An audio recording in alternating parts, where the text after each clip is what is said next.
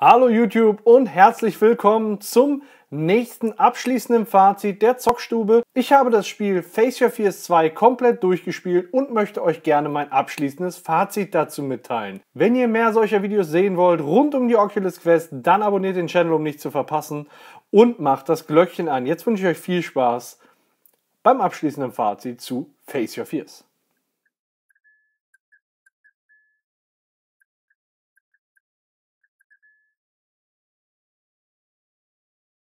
Ja, Leute, dann möchte ich gerne anfangen mit den, ich nenne sie mal, übergreifenden Informationen. Ähm, Face Your Fears ist dem Genre Abenteuer bzw. Horror zuzurechnen.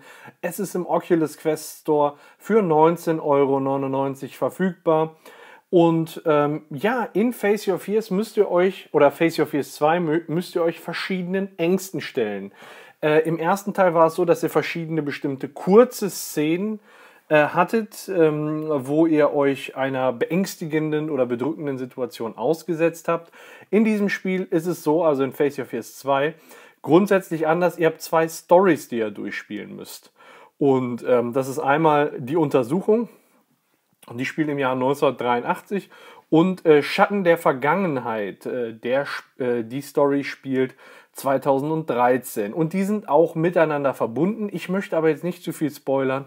Das müsst ihr dann schon selbst herausfinden. Ist aber spannend gemacht. Die Story dreht sich um das Harvest House, äh, so heißt es.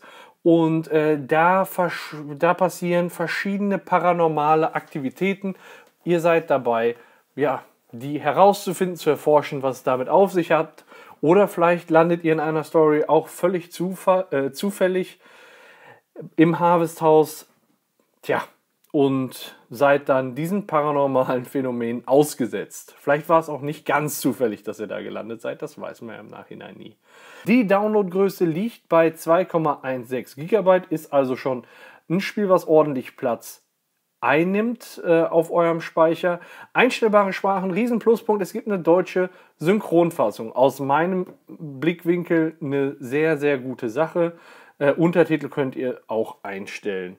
Die Bewertung im Store ist leider nicht so ganz rosig. Bisher waren wir da immer bei den Spielen, die ich hier gereviewt habe, im grünen Bereich.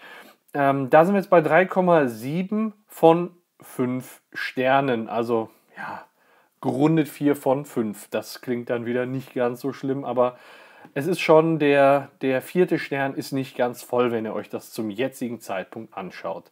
Die Altersfreigabe liegt bei USK 12. Ähm, Grund dafür sind ängstigende Inhalte und Gewalt. Das kann ich so bestätigen. Das ist schon wirklich, ja, Gewalt. So ist das. Ähm, Informationen zum Entwicklerstudio. Das Entwicklerstudio sind die Turtle Rock Studios. Die kennen wir auch schon von einem anderen ähm, Game auf der Oculus Quest, nämlich Journey of the Gods. Also Face Your Fears ist genau vom selben Entwickler wie Journey of the Gods. Jetzt möchte ich gerne zur Bewertung im Detail kommen. Ähm, mein erster Eindruck war, mh, mm, ja, ich habe die Story Schatten der Vergangenheit gespielt, eigentlich nicht ganz chronologisch. Ich hätte eher mit dem anderen Teil anfangen sollen.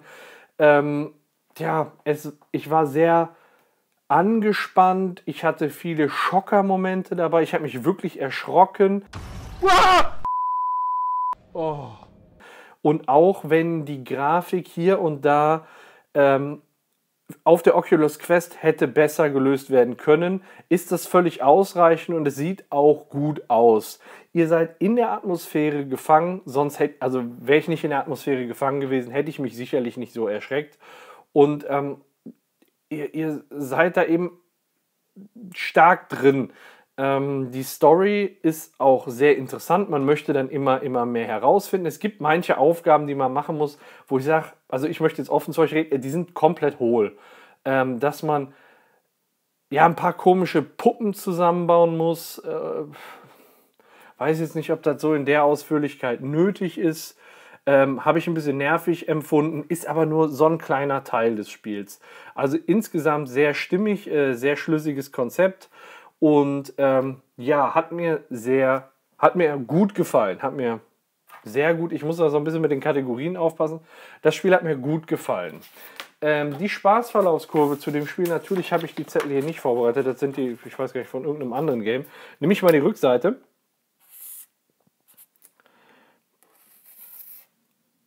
So. Also, aus meiner Sicht war die Spaßverlaufskurve so, ähm, wie bei jedem Spiel habt ihr ein Pacing, also es beginnt spannend, weil ja, es halt losgeht, weil irgendein Trigger gesetzt wird, der die Story lostritt.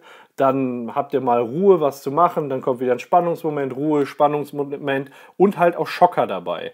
Ähm, was bei diesem Spiel wirklich besonders ist, äh, da hat sich jemand Gedanken um die Story gemacht, auch beide Storystränge miteinander zu verknüpfen.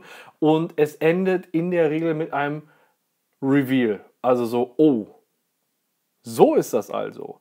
Und äh, wenn ihr diesen, dieses, äh, dieses Gefühl haben wollt, empfehle ich euch zuerst Schatten der Vergangenheit zu spielen und dann die Untersuchung. Ich glaube, dann kommt dieser Aha-Moment ähm, am ehesten raus, weil äh, ihr dann erstmal in die Story geworfen werdet und so ein paar Grundlagen erst im Nachhinein geklärt äh, werden.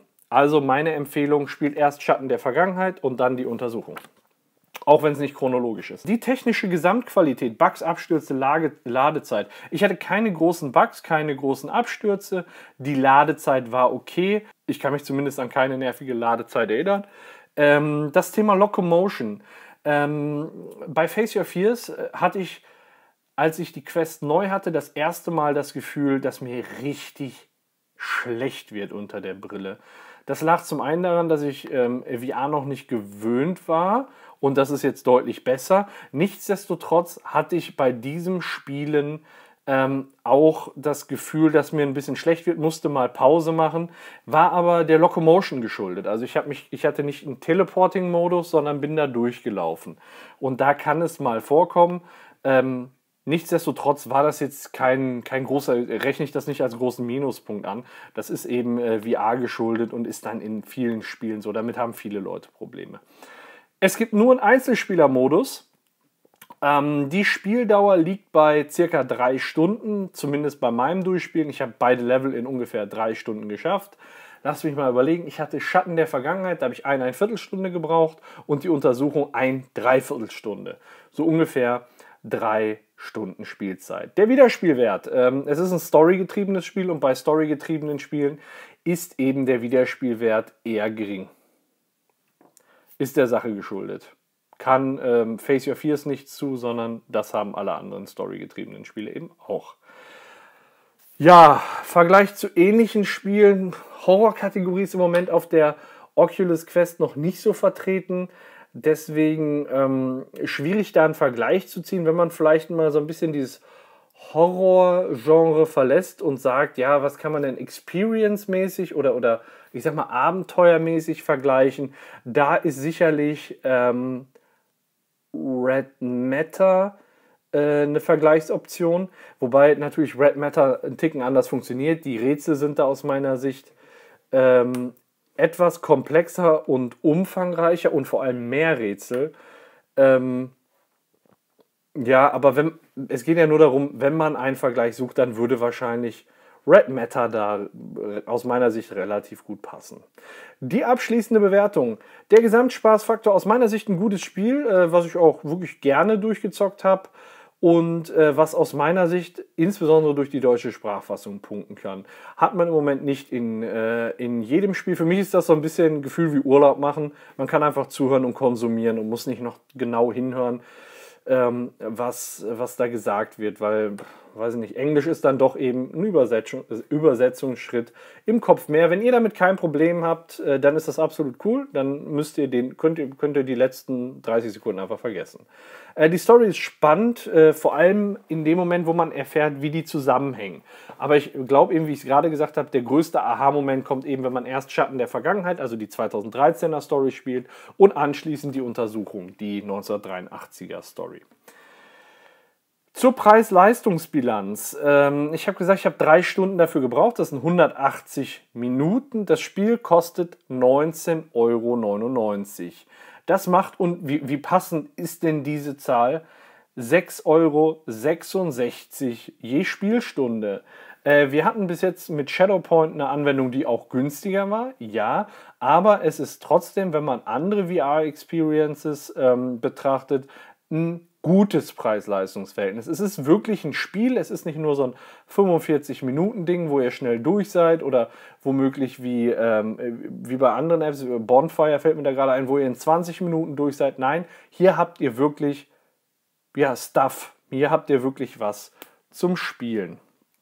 Und ähm, ja, deswegen kann ich nur sagen, mein Ersteindruck hat sich völlig bestätigt und ähm, ich kann euch bei diesem Spiel eine Empfehlung geben. Äh, natürlich gibt es bessere Spiele auf der Quest, aber das Spiel hat Spaß gemacht. Das Spiel hat Schockermomente und wenn ihr auf Horror steht, dann kommt ihr eigentlich an Face Your Fears auf der Oculus Quest nicht vorbei. Allein wegen der fehlenden Konkurrenz. In Verbindung mit dem guten Preis-Leistungs-Verhältnis kann ich euch da nur eine Kaufempfehlung geben. Ich hoffe, ich konnte euch helfen, was Face Your Fears angeht, äh, ob die Anwendung was für euch ist oder nicht. Und ja, wenn euch dieses Review gefallen hat, dann lasst doch mal ein Däumchen oben da. Falls ihr das erste Mal auf diesem Channel seid, würde ich mich natürlich total freuen, wenn ihr ein Abo da lasst und das Glöckchen anmacht, damit ihr künftige Videos nicht verpasst. Macht's gut und bis zum nächsten Mal. Ciao.